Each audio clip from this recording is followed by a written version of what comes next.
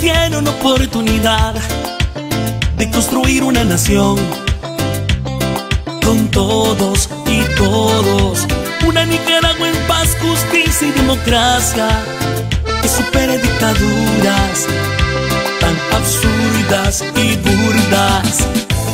Que no me duela respirar. Un país tolerante en que tú puedas expresar y escoger tu futuro. Justicia no hay paz, no hay progreso social, democracia ni justicia. El poder es mi voz, sin justicia no hay paz, no hay progreso social, democracia ni justicia. Y no te olvidaremos, el poder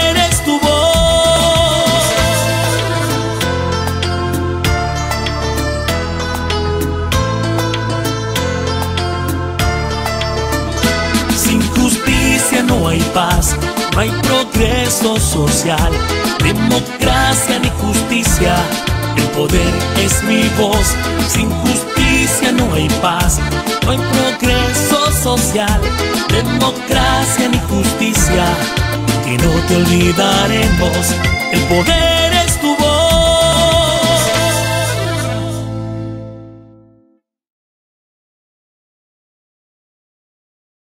Amigas y amigos, ¿qué tal? Tengan todos buenas tardes. Gracias por acompañarnos a esta hora en Noticias en Contexto, el micro noticiero a través de nuestra plataforma en Facebook, Radio Darío 89.3. Les saluda Francisco Torres Tapia en esta tarde de hoy, martes 13 de agosto del año 2019. Recuerde que en el transcurso de este noticiero, en la parte inferior de esta transmisión, usted puede compartir nuestra transmisión para que de esta forma no solamente usted, sino que todos sus contactos en, su perfil de Facebook estén al tanto de lo que acontece en nuestro país a través de esta emisión informativa. Vamos a iniciar con el detalle que hemos preparado para esta tarde.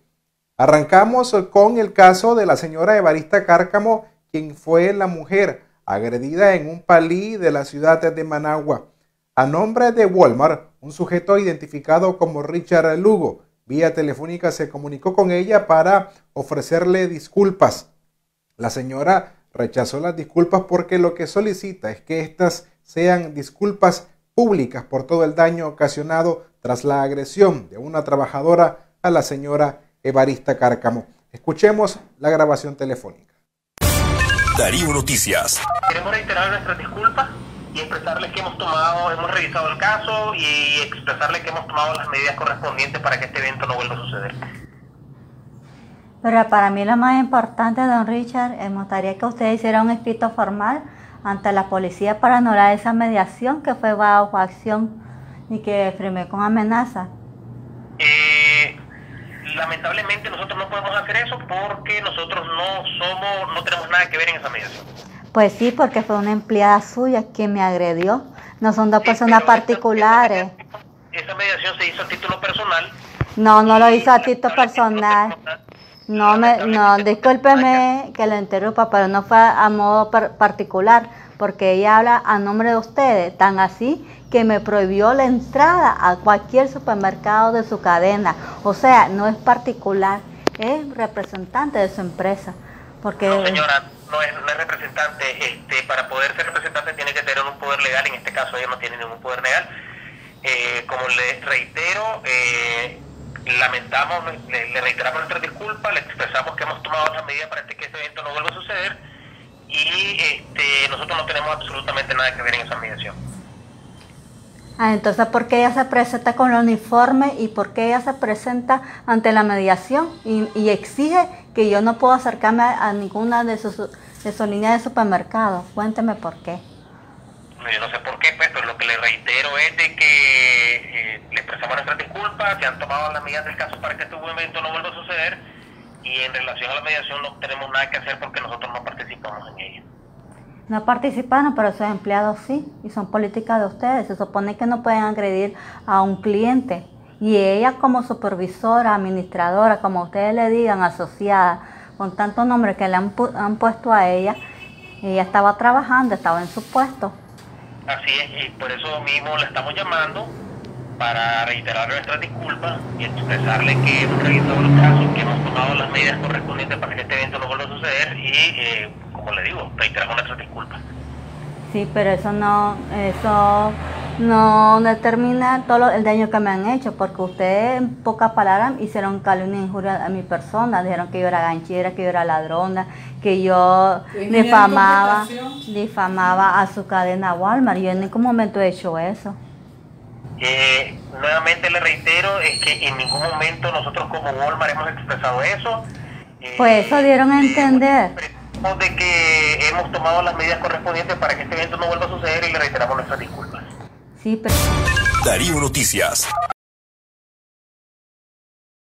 Evarista Cárcamo, tras grabar esta llamada telefónica de Richard Lugo, quien dice ser representante de Walmart para ofrecerle disculpas, la señora se presentó hoy martes ante la Comisión Permanente de Derechos Humanos para solicitar a las autoridades de Walmart en Nicaragua de que las disculpas sean públicas. Veamos. Darío Noticias. El día de ayer recibí una llamada por parte del Walmart. Este, tuvimos un diálogo, grabé pues la, ese diálogo que tuvimos. Realmente yo siento que no tienen pues ganas de hacerlo público la, Una disculpa realmente de lo que sucedió el día lunes 5 de agosto por parte de su empleada que fui agredida en su establecimiento. Eh, solo por el hecho de haber preguntado por qué no podía ingresar a su cadena de Walmart, que, que palí uno de ellos, claro. Y pues ahí está el audio, está toda la conversación que se realizó el día de ayer y realmente no me siento satisfecha porque hay muchas preguntas, tanto mías como de personas realmente, y, aquí estoy pues dando la cara todavía, pidiendo pues que ellos también lo hagan, que también hagan una, una disculpa pública y que pues aclaren muchas situaciones que sucedieron. Darío Noticias. Formándose con nosotros en otro orden de noticias el ex prisionero político y líder del movimiento campesino en nuestro país, Medardo Mairena, en una entrevista ha asegurado que con lo que ha ocurrido en estos días no existen las condiciones para que los exiliados que se encuentran en Costa Rica regresen a Nicaragua. Darío Noticias. No es cierto que hay condiciones para retornar, porque solamente eh, por el hecho que tuvimos, participamos en una marcha cívica con nuestros hermanos de lucha, que fue el reto que asumimos de los diferentes movimientos en el exilio, ¿verdad? Como es la, unidad. Entonces llamamos a una marcha llamada la unidad, no solamente de nombre, sino porque ahí nos pudiésemos reencontrar y luchar por esa verdadera unidad. No hay condiciones para que ellos puedan retornar. Es vergonzoso saber de que o sea, llegas a un país democrático y, te reciben bien, pero lo vergonzoso es retornar a Nicaragua y que las autoridades de Nicaragua, o sea, nos vean como, como unos sujetos peligrosos, ¿verdad? Y nos dan asedio, nos dan persecución. Ni siquiera es migración de otro país que nos investiga, sino migración de, de, de mi mismo país, de mi Nicaragua, de Nicaragua de todo. El día de ayer tuvieron retenido a los estudiantes, a los jóvenes, también tuvieron retenido este, a campesinos que también venían, en el caso de Don Freddy Nava y, Kenia Gutiérrez, en, las fronteras en Peña Blanca. Y posteriormente, ya una vez que vinieron aquí a Managua, igualmente eh, intentaron secuestrar una vez más a Kenia y, a Don Freddy Nava, ¿verdad? Al cual, eh, si no ha sido por la ayuda de, del pueblo, de las personas que estaban ahí, se nos hubiesen llevado secuestrados. Y eso es evidente, está en, las redes sociales, ahí están los videos donde ellos pretendieron llevárselo secuestrado una vez más. Entonces, ¿de qué retorno seguro están hablando? Pues están diciendo que ellos retornan y siempre siguen secuestrando. ¿Cuál es el delito? Darío Noticias. El gobierno de Nicaragua negociará las reformas electorales con los partidos políticos, dejando a un lado a la Organización de Estados Americanos. El detalle de estas y otras informaciones es cuando regresemos de nuestra primera pausa. Antes, les dejamos con nuestra campaña audiovisual Nicaragua Te Quiero Libre. Tengo fe, Nicaragua libre, tengo fe en que no hará falta más dolor. Tengo fe, duele en el alma.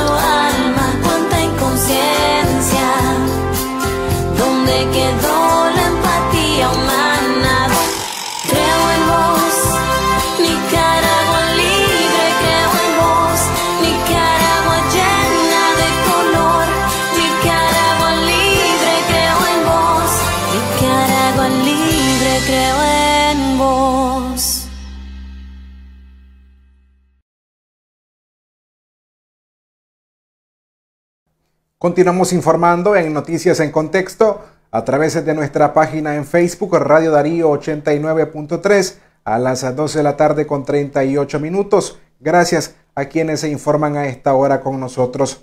El gobierno de Nicaragua negociará las reformas electorales con los partidos políticos, dejando a un lado a la Organización de los Estados Americanos OEA. Esto contrario al acuerdo que firmó con la Alianza Cívica por la Justicia y la Democracia cuando dio inicio a la mesa de negociación el pasado 27 de febrero. Veamos el siguiente reporte. Darío Noticias. Las reformas al sistema electoral era uno de los ejes centrales del diálogo en Nicaragua. El gobierno del presidente Daniel Ortega se había comprometido a trabajar con la coordinación de la Organización de Estados Americanos. Sin embargo, el oficialismo recientemente anuló estos acuerdos y anunció que solo negociarán con partidos políticos que, según la oposición, no tienen representatividad. Jimmy Blandón es diputado del Partido Liberal Constitucionalista, una de las agrupaciones con quien el gobierno quiere negociar las reformas electorales. El legislador advierte que su partido ya tomó una decisión. Hemos manifestado claramente que no vamos a negociar con el gobierno reformas electorales. Blandón denuncia que el partido de gobierno tiene el control absoluto del sistema electoral. Tiene todo un aparato bien estructurado, bien profesional para manipular los resultados electorales. Pero el diputado oficialista Wilfredo Navarro aseguró a La Voz de América que la mayoría de los partidos políticos tienen voluntad de dialogar con el gobierno. También señaló que no negociarán más con la opositora Alianza Cívica. Los sujetos activos, los actores principales de la negociación de las reformas electorales son los partidos políticos, no la Alianza Cívica, que ni siquiera es un partido. José Antonio Peraza, quien es especialista en temas electorales, explica que los partidos que pretenden negociar con el gobierno tienen otros intereses. Todos esos partidos son partidos que han sido colaboracionistas con el gobierno y de alguna manera todos son responsables del colapso del sistema político y, y, electoral que tenemos. En tanto, Estados Unidos y la mayoría de países que conforman la Organización de Estados Americanos insisten ante el gobierno de Nicaragua en la necesidad de volver a la negociación con la opositora Alianza Cívica para resolver la crisis política. Donaldo Hernández, Voz de América, Nicaragua. Darío Noticias. Continuamos informando. Este martes en Costa Rica, el Centro Internacional de Justicia presentó un informe en el que revela que el gobierno de Nicaragua ha agredido a los pueblos indígenas en el Caribe norte de nuestro país, principalmente con la expropiación de sus terrenos. Darío Noticias. Primero, bueno, el, el, el, informe, como ustedes sabrán, se centra en 12 comunidades indígenas Miskitú de la costa caribe norte de Nicaragua. El, conflicto parte de, un, de, una disputa por la tierra. Eh, tenemos a las comunidades que en el marco de, la legislación nicaragüense, que es una legislación que en el papel es muy completa, la constitución reconoce los derechos de los pueblos indígenas, hay una ley, la ley 445, que se promulga en 2012 y que reconoce la propiedad colectiva de los territorios indígenas. Eh, pero la, la, la, realidad es que del papel a, la, a, a, lo que viven las comunidades día a día hay una brecha muy grande. Eh, a pesar de que los territorios indígenas en la costa caribe norte cuentan con títulos de propiedad colectiva, el Estado ha fallado en completar las tres etapas para, para, que se cumpla este proceso. Está la demarcación, que implica que los territorios sean identificados geográficamente, la titulación, que implica que el Estado otorga a las comunidades eh, la, la propiedad en título de estos territorios, y una tercera etapa que es el saneamiento, que el saneamiento es básicamente el proceso por el cual las personas no indígenas que habitan los territorios de las comunidades son eh, trasladadas a otros espacios fuera de los territorios indígenas. Es en este punto que el Estado ha incumplido y ha fallado. Y a partir de eso se detona el, el, el conflicto que, que da vida a este informe. Pasa lo siguiente. Hay grandes grupos de personas que son conocidas como terceros o colonos, que son personas no indígenas provenientes del Pacífico o del interior del país, que van a los territorios de las comunidades indígenas, eh, se instalan ahí y comienzan un despojo. Este despojo, si, ya el hecho de que estén ahí implica una violación a los derechos territoriales de los pueblos indígenas, se ve agravado por los mecanismos de violencia que son implementados para apropiarse con las tierras. Muchas de estas personas aducen tener títulos de propiedad, muchos de ellos falsos y otros incluso otorgados por autoridades en total inobservancia de la ley y amparados y amparadas bajo estos títulos eh, ilegales, lo, lo resalto, eh, exigen la, la tenencia de la tierra. Darío Noticias. Por último, en Venezuela, el régimen de Nicolás Maduro, a través de la Asamblea Nacional Constituyente y a través del Tribunal Supremo de Justicia, ha ordenado el enjuiciamiento de cuatro diputados opositores, asimismo a que se le allane la inmunidad a cada uno de estos diputados. Darío Noticias. Los legisladores José Guerra, Tomás Guanipa, Juan Pablo García y Rafael Guzmán fueron acusados por los delitos de traición a la patria, conspiración, instigación a la insurrección, usurpación de funciones, entre otros. Del mismo modo, fue allanada su inmunidad parlamentaria. El legislador Juan Pablo Guanipa, hermano de uno de los afectados, advierte que el gobierno en disputa viola claramente el Estado de Derecho. los destructores de la democracia, nosotros tenemos la responsabilidad de seguir luchando y de seguir ejerciendo presión hasta que logremos que este país pueda encontrarse. Entre tanto, la Voz de América examinó el sentir de algunos ciudadanos en las calles del país. Hay desesperanza y hay miedo porque la gente no está escuchando de sus dirigentes nacionales lo que de verdad necesita oír. La gente ya no quiere seguir en unas caminatas, en unos llamados vagos, inútiles, vacíos. Otros afirman que a pesar de las amenazas, mantienen la disposición de luchar. Tenemos que hacer un, un esfuerzo enorme porque no podemos conformarnos con esta situación de país, no podemos conformarnos con esta Venezuela, tenemos que buscar la Venezuela nueva. El presidente de la oficialista Asamblea Nacional Constituyente, Diosdado Cabello, por su parte, designó a una comisión que evaluará el mejor momento para realizar elecciones legislativas. Como esas elecciones son las que vienen, chillen, llueva, truene o relampaguee, son las que vienen. Falta definir la fecha. Álvaro Algarra, Voce América, Caracas. Darío Noticias. Mañana miércoles eh, 14 de agosto, Radio Darío y todo su personal estarán celebrando la Asunción de María. Les invitamos a que nos acompañen a partir de las eh, 3 de la tarde frente a nuestros estudios centrales que se ubican de emergencia del Hospital Eodra en la ciudad de León, una cuadra y 75 varas arriba, para que juntos compartamos la gorra tradicional en honor a la Asunción de María. Hasta aquí las informaciones. Gracias a cada uno de ustedes por haberse informado con nosotros. Tengan buenas tardes.